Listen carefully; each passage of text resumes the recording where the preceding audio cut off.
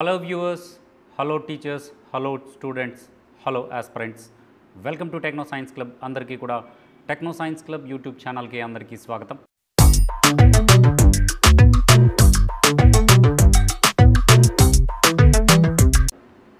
నా పేరు నాగమల్లేశ్వరరావు.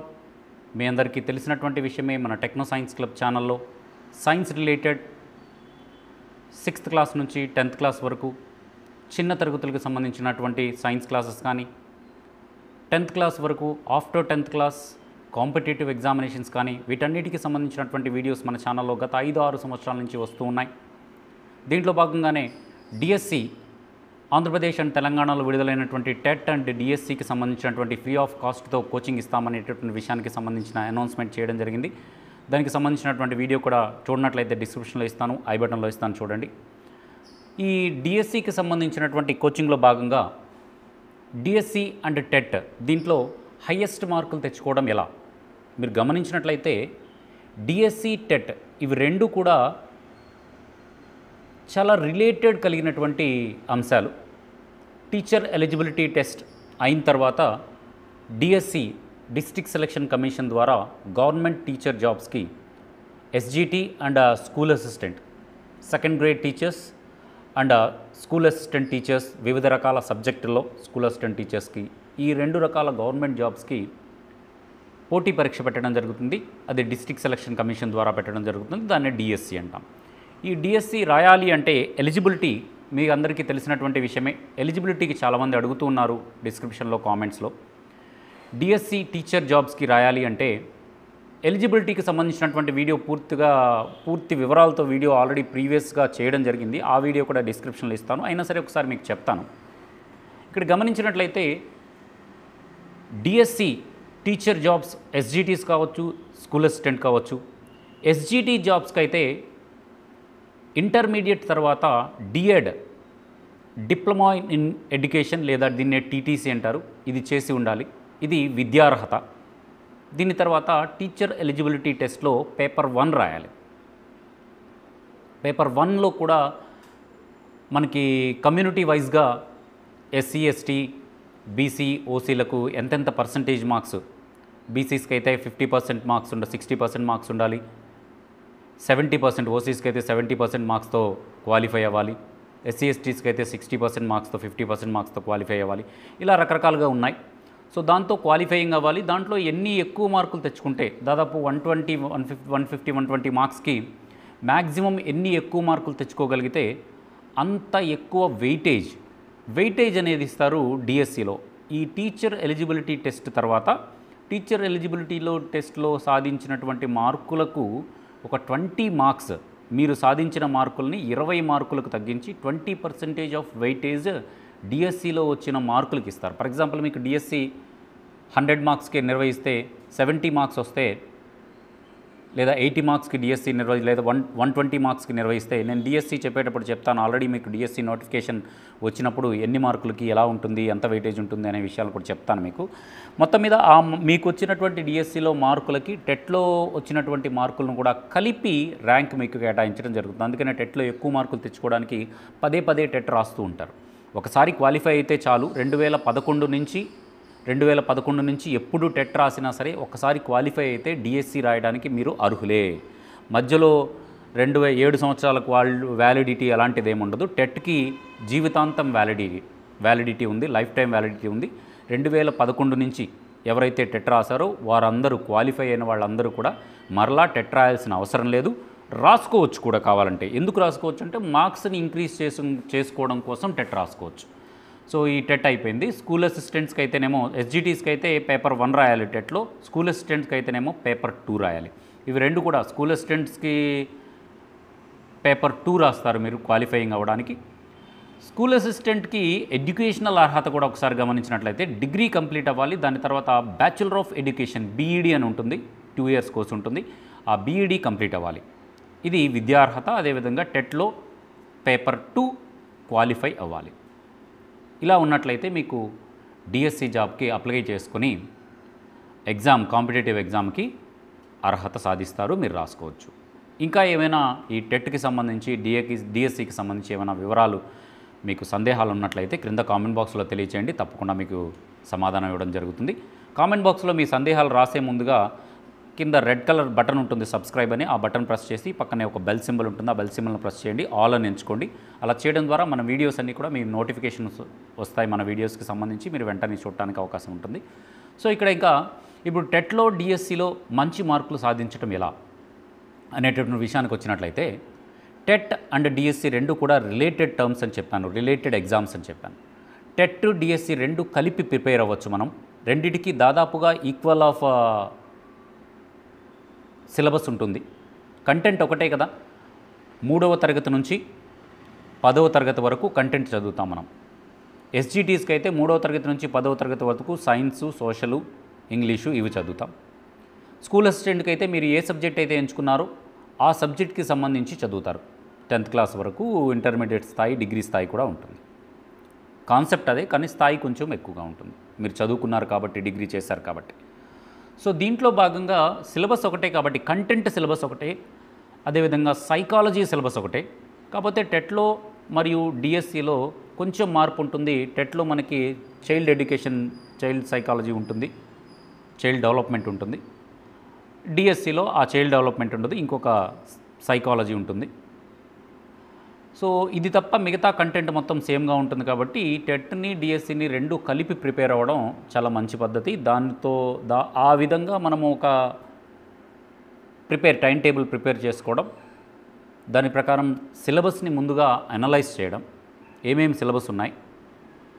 మనం ఏం రాయాలనుకుంటున్నాము? స్కూల్ అసిస్టెంట్ జాబ్కి ప్రిపేర్ అవ్వాలనుకుంటున్నామా? డిఎస్సి జాబ్కి ప్రిపేర్ అవ్వాలనుకుంటున్నామా? దానిని బట్టి మీ ప్రిపరేషన్ విధానం అనేది ఉండాలి. ఎస్జిటీస్కి ప్రిపేర్ అయితే టెన్త్ క్లాస్ వరకు సైన్సు సోషలు మ్యాథమెటిక్స్ ఈ మూడు మెయిన్ కంటెంట్గా ఉంటాయి ఇంగ్లీష్ కూడా ఉంటుంది. సో అవన్నీ కూడా టెన్త్ క్లాస్ వరకు బుక్స్ సంపాదించుకోవాలి ముందు. ఒక టైం టేబుల్ ప్రిపేర్ చేసుకుంటాము సిలబస్ని అనాలిసిస్ చేసుకుంటాం ఏమేమి సిలబస్ ఉంది మనకి ఇచ్చినటువంటి టెట్ నోటిఫికేషన్ ఆధారంగా ఏమేమి సిలబస్ ఉంది ఒక ప్రింట్అవుట్ తీసుకుంటాం దగ్గర పెట్టుకుంటాం. దాన్ని బట్టి మనకి ఏమేమి కావాలి రిసోర్సెస్ ఏం కావాలి? రిసోర్సెస్ మనకి టెక్స్ట్ బుక్స్ కావాలి. Government text book based examination జరుగుతుంది. సో సైకాలజీ అయినా సరే బీఈడి అండ్ డిఎడ్లో ఉన్నటువంటి సైకాలజీ టెక్స్ట్ బుక్ అదేవిధంగా చైల్డ్ డెవలప్మెంట్ టెక్స్ట్ బుక్ ఆధారంగా గవర్నమెంట్ టెక్స్ట్ బుక్ ఆధారంగా.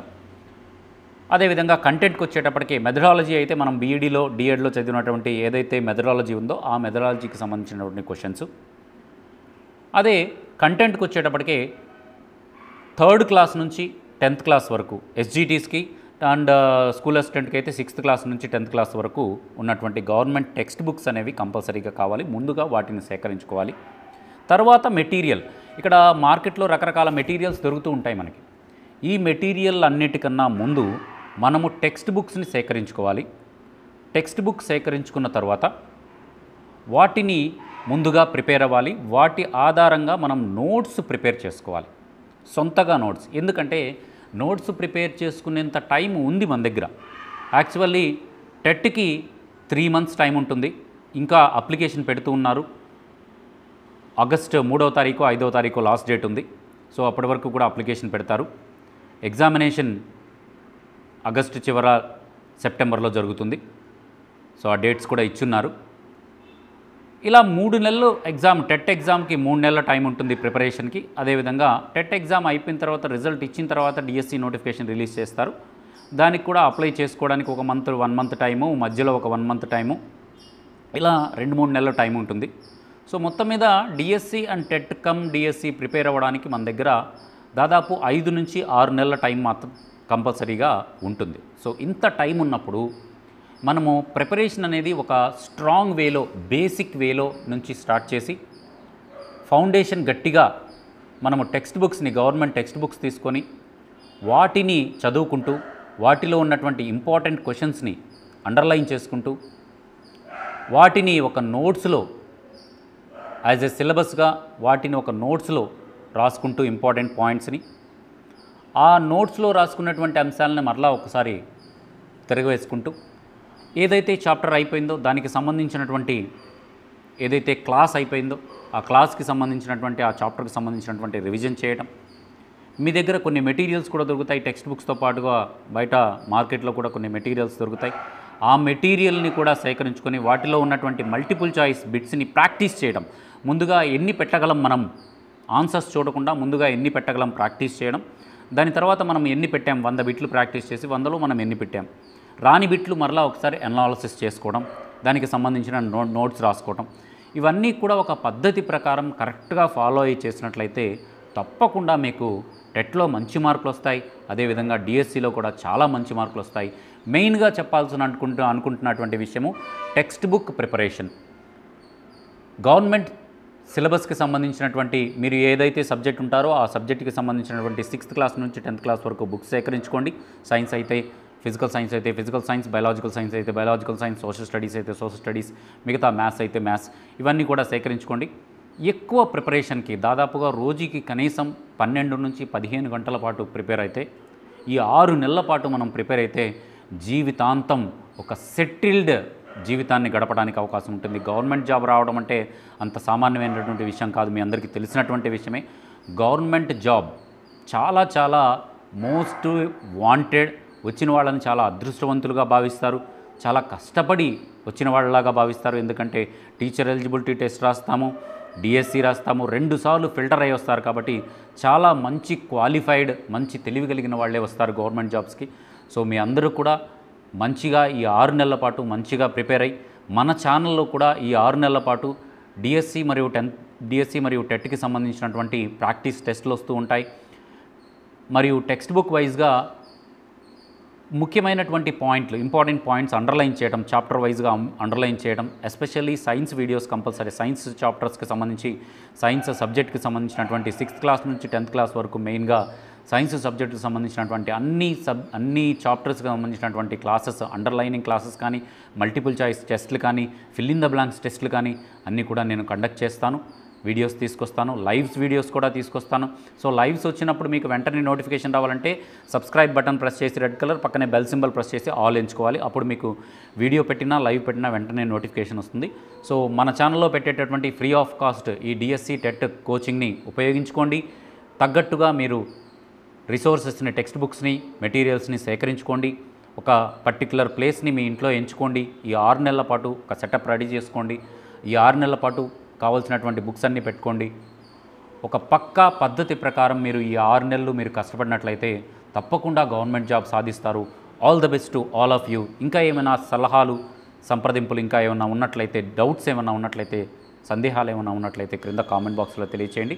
తప్పకుండా మీకు సహాయం చేయడానికి మీ డౌట్స్కి సమాధానం ఇవ్వడానికి ప్రయత్నిస్తాను. కాబట్టి please like share and subscribe ఎందుకంటే నేను గత పదిహేను పదహారు సంవత్సరాలుగా యాజ్ ఏ గవర్నమెంట్ టీచర్ ఉన్నాను కాబట్టి మీరు గవర్నమెంట్ టీచర్ అవ్వడానికి ఎలాంటి టిప్స్ ఇవ్వాలి ఎలాంటి మీ సందేహాలను తీర్చగలిగేటటువంటి విషయాలు నాకు తెలుసు కాబట్టి చెప్తున్నాను. అందువల్ల నేను చే- చేసేటటువంటి ప్రయత్నాన్ని అందరూ కూడా సహకరిస్తారని భావిస్తూ మీ ఫ్రెండ్స్ అందరికీ కూడా ఎవరైతే ప్రిపేర్ అవుతుంటారో వారందరికీ కూడా షేర్ చేస్తారని భావిస్తూ కొంచెం లెందీ అయినప్పటికీ కూడా ఈ వీడియో పూర్తిగా చూసినందుకు ధన్యవాదాలు. Thank you thank you for watching next practice టెస్ట్లో కలుసుకుందాం. ఇక మీకు ఎలాంటి డౌట్స్ ఉన్నా కూడా కింద కామెంట్ బాక్స్లో రాయండి. దానికి సంబంధించినటువంటి వీడియోస్ రూపంలో మీకు డౌట్స్కి క్లారిఫై క్లారిఫికేషన్ ఇస్తాను ప్రతిరోజు. So thank you thank you for watching జై హింద్ వందే మాతరం